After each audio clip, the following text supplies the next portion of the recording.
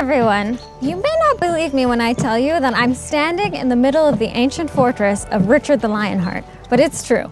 I'm meeting with Marie, the director of the castle, to learn more.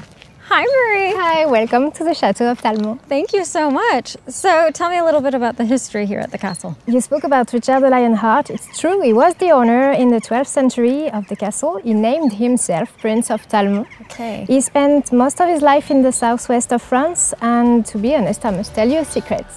He only spent six months in his life in England, and he didn't even speak English.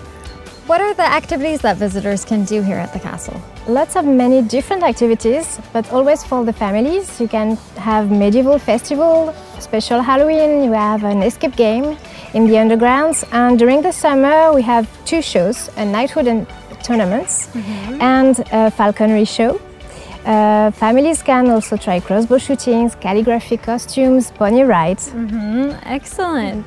And I notice there's a big flag at the top of the castle. Are we allowed to climb up to the top? It's the flag of Richard the Lionheart. Okay. And of course, you can discover many rooms inside the tower. So enjoy your visit. Thank you so much, Marie. You're Bye. welcome. Bye.